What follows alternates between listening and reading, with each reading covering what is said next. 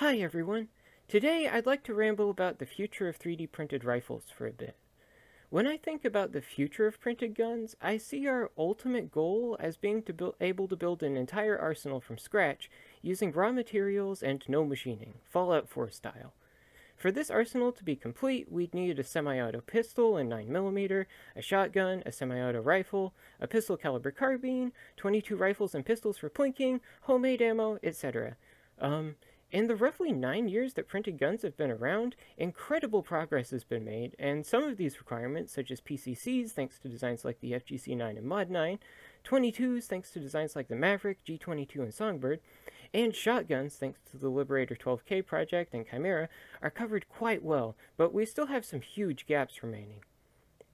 Homemade ammo is something that's being actively worked on by a lot of people, but it's still very much in the development phase. The need for a 9mm pistol is also a big gap, and sadly one that hasn't seen much development. The gap that I see as being the largest and most vital to fill, however, is the need for a semi-auto rifle. Until this problem is solved, printed guns will always be sorely lacking in capability when compared to commercial guns. Pistol caliber carbines are a ton of fun, but they just don't have enough ballistic energy to hold a candle to an actual rifle. So a printed rifle is something that I really want to see happen, and is what I focus most of my development efforts on.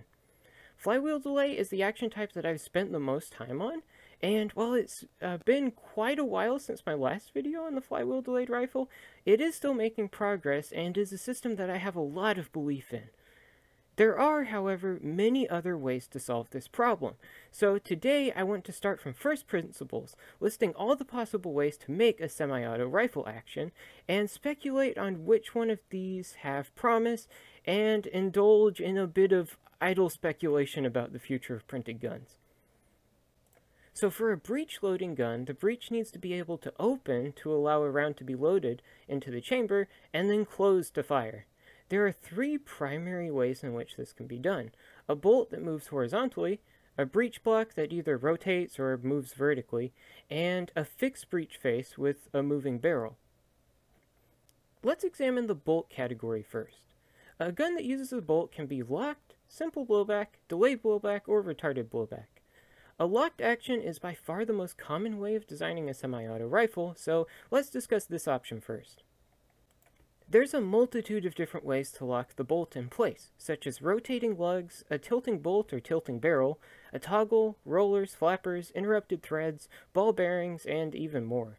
Um, while these systems are all different, they share a ton of very similar problems. The bolt thrust that a lock needs to be able to withstand for a rifle is anywhere between 3 and 7,000 pounds of force. Using plastic is obviously practically impossible, so the locking mechanism would need to be either entirely fabricated from scratch in steel or made from repurposed off-the-shelf steel parts. The geometry of all these locking systems share the common problem of having very complex geometry, which would make fabricating them without machining equipment an extreme challenge in most cases. Even with ECM, it would be a Herculean effort. Two years ago, I would have called a do-it-yourself locked breech impossible, but there have been a couple of ideas that people have had and shown off that have changed my mind a bit. Interrupting the threads on a bolt and nut have been proposed a few times throughout the years as an easy way to make a do-it-yourself rotating bolt. Finding a bolt and nut with strong enough threads has proven to be surprisingly difficult, though. It probably is possible, though, especially with the right cartridge selection. I also saw a 2D rotating bolt which looked quite doable, uh, that was just cut, simply cut from steel plate. There's also a few do-it-yourself locked bolt actions that are already in existence. The Professor Parabellum pump-action shotgun uses a flapper lock. The strength of that design gives me a lot of concern, but as far as I know it does work. Um, the other do-it-yourself locked breech is the Locust, made by a developer named SwarmTech, which uses a McMaster-Carr bolt and some 2D steel parts. The Locust is just a 22, but it's possible that this design could be scaled up. I do think that a locked bolt is one of the harder ways of making a do-it-yourself rifle, if not the hardest, but it does definitely appear to be possible. Um, there's also a bunch of improvised guns, mostly 22s, that lock on the bolt handle, which should be mentioned as an exception to locked bolts being difficult. Locking on the handle was actually very common in the 1870s to early 1880s when the low pressures of black powder meant there wasn't much bolt thrust to deal with. Locking on the bolt handle is very limited in terms of how much force it can take though, so I'm only really putting it here for the sake of completeness. Now let's move on to simple blowback. Simple blowback is the most mechanically simple way to make a semi-auto firearm, and is how every printed semi-auto currently released functions. In a simple blowback gun, there's no locking mechanism. The bullet just has enough inertia that it only moves back a small amount before the bullet exits the barrel and the pressure drops. This is beautifully simple, but it does have a downside. The more momentum your projectile has, the more bolt mass you need. This leads to simple blowback typically only being used in pistol caliber guns, and as of now, printed designs have yet to go any higher than 9mm. While simple blowback is indeed very limited, there's a lot more juice left for us to squeeze without any technological advances needed, making a simple blowback 45 ACP or even 357 SIG pistol caliber carbine is probably the lowest hanging fruit in the community right now, as it's just scaling up what we have without any technological advances needed. Another thing to point out is that the bolt mass required for simple blowback is often exaggerated, leading people within the community to underestimate it a lot. People often reference a chart from a website called Orion's Hammer, which made a ton of assumptions in its calculations. The chart assumes that a 4 meter per second bolt velocity is safe and neglects the effect of barrel length, which are both huge assumptions. It also doesn't take chamber friction or bolt twisting into account, which have pretty big real world effects on bolt velocity.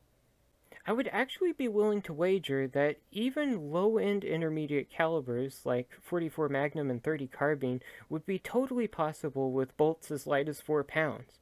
This would result in a relatively heavy rifle um, that would probably be 10 to 12 pounds overall, but that's completely usable.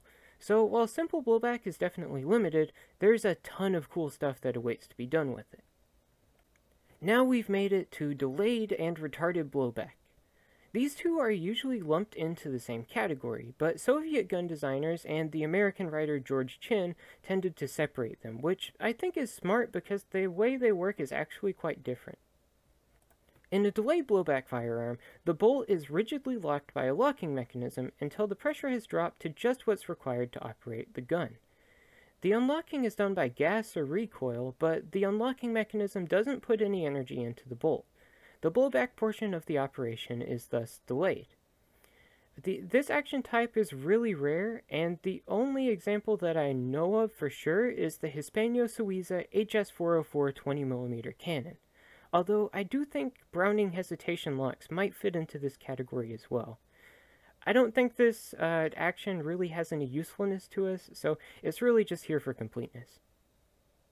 In a retarded blowback action, the bolt is always in motion when firing, just like a simple blowback gun, but its motion is retarded by mechanical disadvantage of some kind. Retarded blowback actions are usually referred to as delayed colloquially, and from here on out I'll go back to calling them that because that's what we're all used to.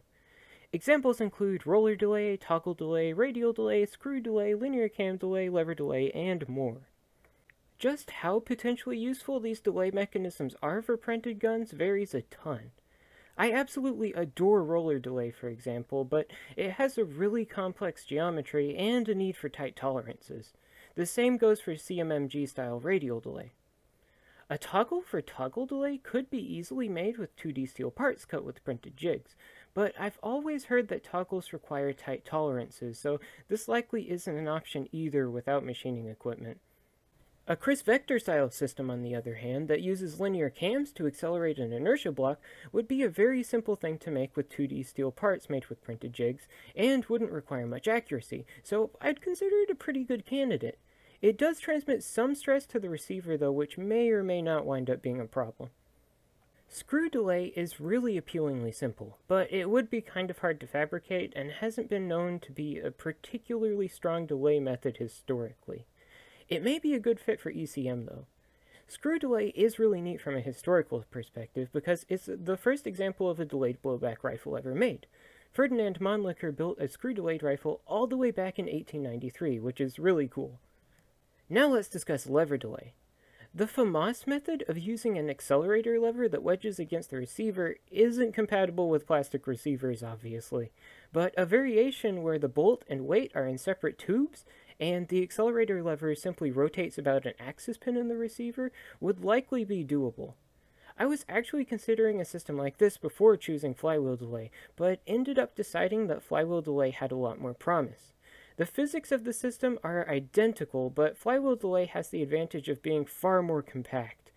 Um, since the weight would have more travel than the bolt itself, um, it ends up taking an absurd amount of space, and it's just really hard to design a gun that where the weight doesn't get in the way of something important. So flywheel delay from a packaging perspective is far superior, while having all the same advantages.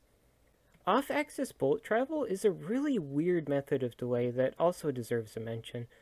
Placing the bolt at an angle relative to the bore axis splits the bolt thrust between the bore and the receiver. It's really simple, but its utility is very limited. Even with an extreme angle of 45 degrees, the bolt is still subjected to 70% of the bolt thrust. The receiver would also be subjected to 70% of the bolt thrust, which uh, is probably incompatible with plastic. There are also some really strange systems, usually referred to as being delayed, that just use raw force instead of mechanical disadvantage to slow the opening of the bolt. Annular ring delay is when annular rings are cut into the chamber of the gun to massively increase chamber friction. This is a method that some mouse guns have used to slightly decrease required slide mass. It was also used on a 30 carbine pistol called the Kimball that kind of worked, so while it's typically considered a very weak form of delay, it does seem to do something, I think. Um, gas delay is when you use uh, force from a gas piston to delay opening. It was used on the Gustloff Volkssturmgewehr entry, a World War II last-ditch rifle chambered in 8mm Kurz. The bolt on that gun was like 3 pounds, so raw mass was definitely doing most of the work. The Grossfuss entry, which I'm probably pronouncing that very wrong, uh, also used gas delay and managed a, a, uh, lighter bolt mass of only 2 pounds. Um, both uh, annular rings and gas pistons are very weak forms of delay, but they could maybe have very limited utility for slightly reducing the required bolt mass of an intermediate caliber gun that's mostly simple blowback, but just a little bit lighter because of these very simple and easy to make systems. So now we're done with the bolt category. Let's move on to fixed breeches. The physics of fixed breech guns makes them a really good fit for 3D printing. In a fixed breech gun, the breech is purely in compression, which printed plastic can handle quite well with the right layer orientations. With the addition of tension rods and a 2D steel breech face, a fixed breech printed gun can be made to handle just about anything. The Liberator 12K receiver is an awesome example of this, and was the first project to use this design principle.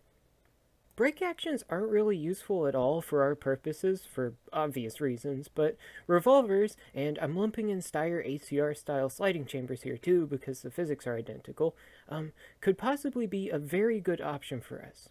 You're probably thinking that the limited capacity of a revolver would be a major handicap, but there's a really cool way around this magazine fed revolvers. I actually did some early stage work on a MagFed revolver design a few years ago, and found that this would be far simpler to do than it first sounds. All you need is a plastic pseudo bolt type thing that feeds around from a box mag into the cylinder which, with each cycle, and an ejector rod that ejects a spent case each cycle.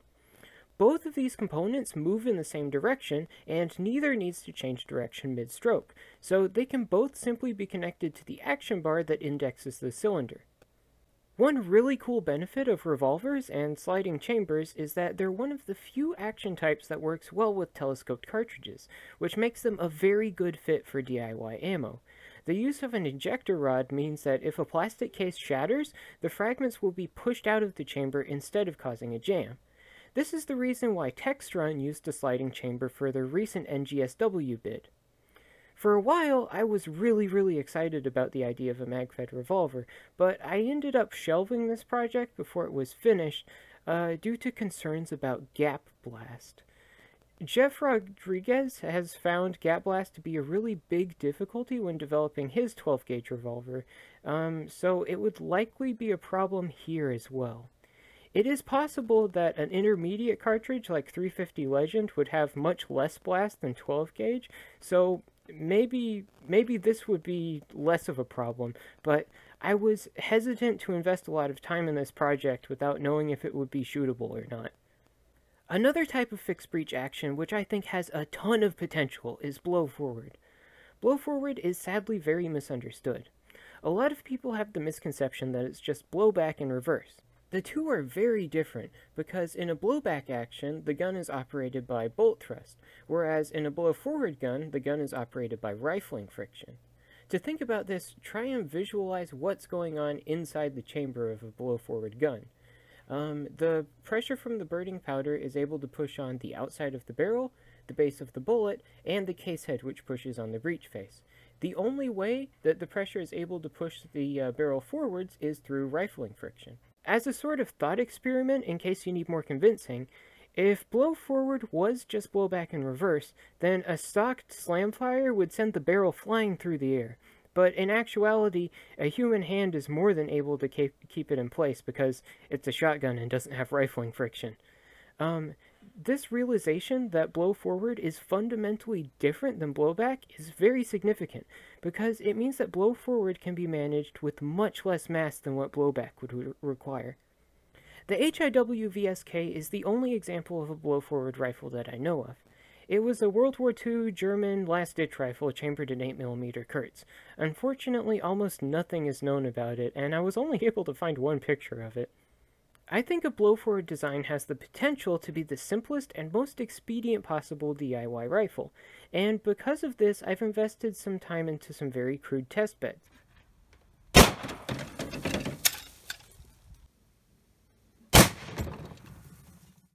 They don't have a magazine or anything, and are just uh, simple tests to see if uh, one of my old 4570 barrels is heavy enough to prevent case head separation.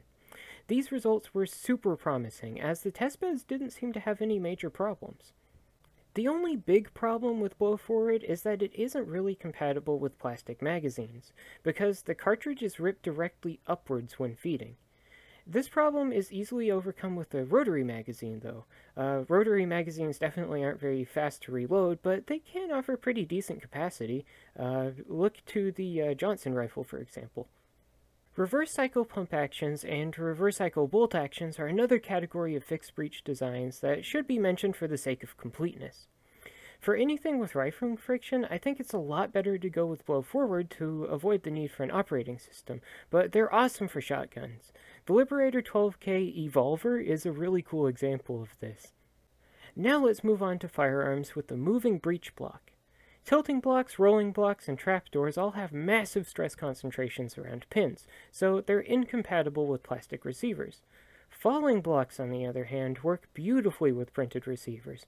When the block is closed, the forces are essentially identical to a fixed breech, making falling blocks one of the strongest possible action types. You're probably thinking that this is useless to us because the only falling blocks you've seen are single shots, but a semi-auto falling block is totally possible, if admittedly a bit complicated.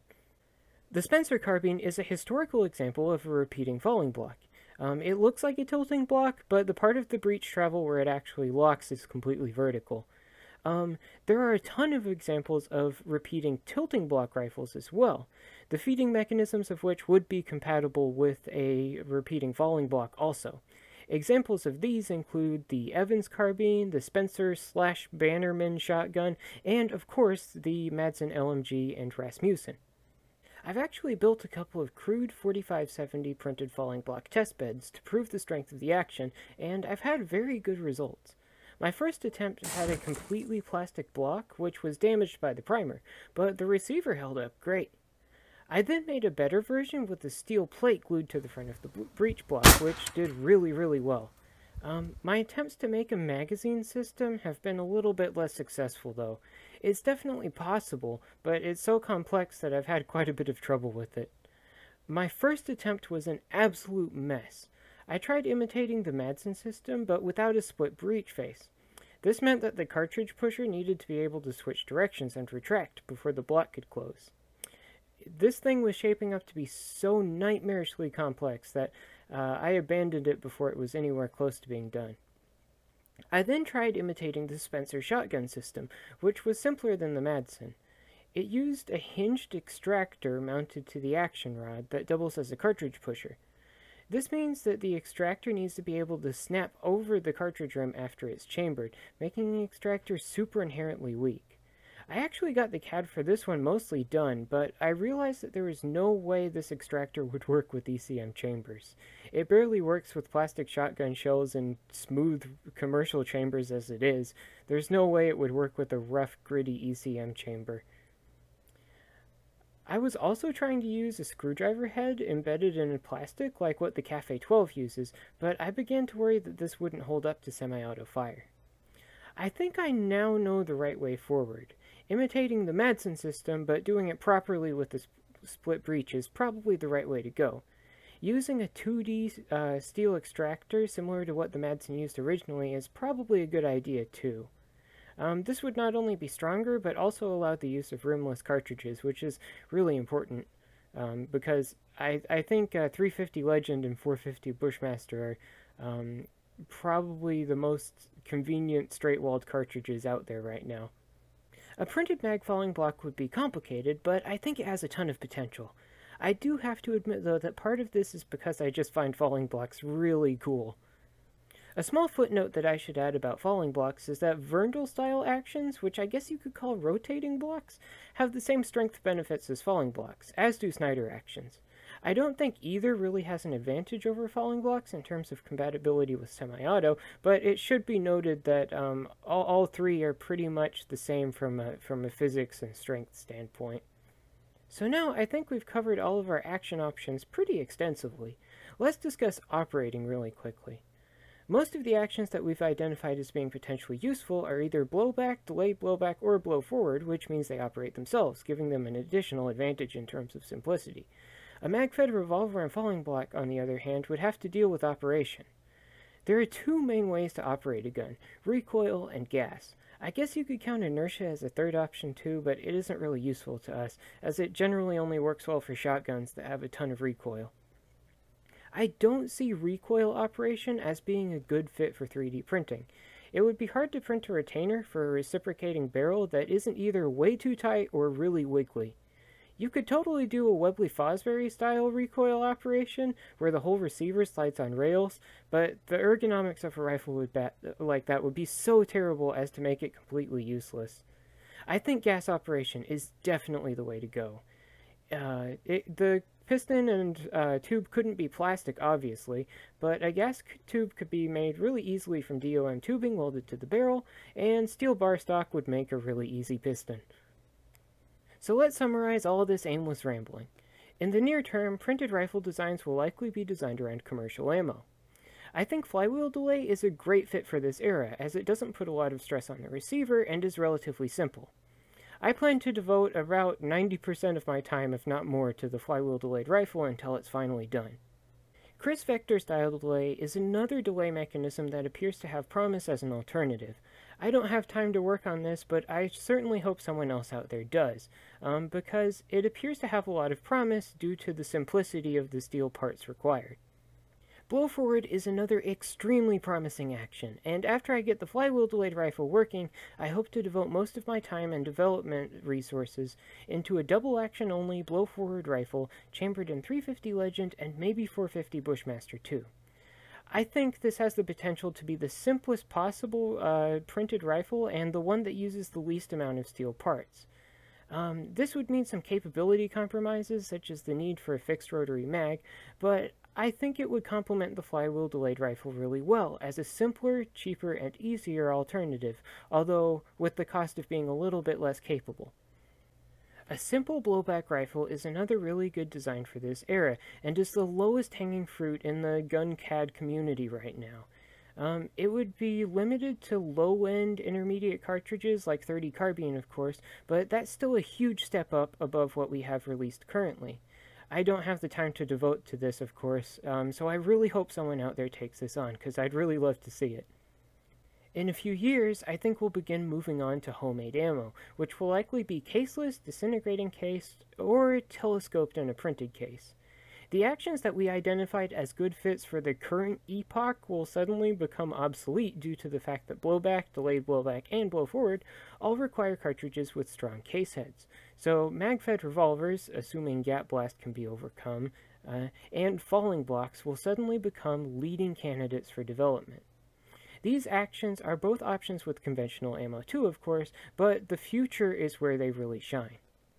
So those are my thoughts on the future of 3D printed rifles.